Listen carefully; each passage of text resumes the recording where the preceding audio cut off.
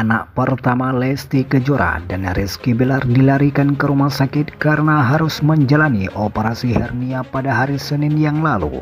Pada saat baby Leslar dilarikan ke rumah sakit, Lesti Kejora diketahui tengah berada di Ancol untuk memenuhi undangan bernyanyi. Muntah-muntah langsung dibawa ke rumah sakit, padahal Dede mau nyanyi lagi udah di Ancol, kata Lesti Kejora.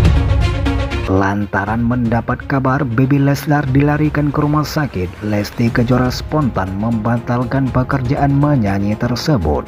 Untungnya, pihak panitia acara yang bersangkutan memberikan izin kepada Lesti untuk membatalkan penampilannya. Alhamdulillah nggak apa-apa. Demi anak sih ya sambungnya. Cuplikan curhatan Lesti Kejora ini viral di media sosial TikTok dengan atensi sebanyak 31.000 jumlah tayangan.